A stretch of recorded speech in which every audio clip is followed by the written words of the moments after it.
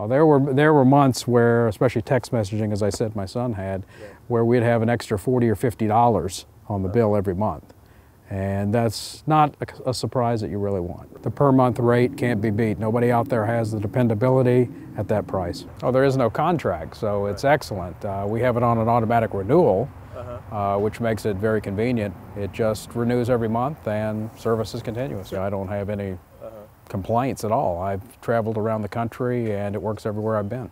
I've recommended it to several of my friends and several of my business associates as well.